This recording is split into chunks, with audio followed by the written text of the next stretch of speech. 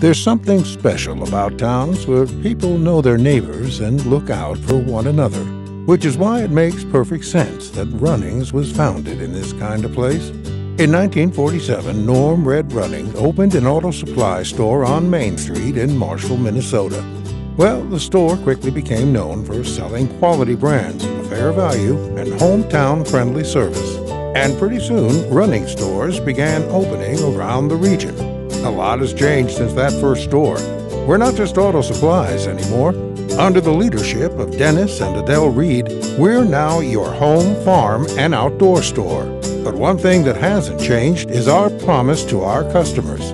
We're dedicated to quality, value, selection, and service. And while our stores have spread across the country, our commitment to our local communities has stayed the same. And with 40 stores and growing, we're honored to be the store that so many families have come to trust. Running, your home, farm, and outdoor store.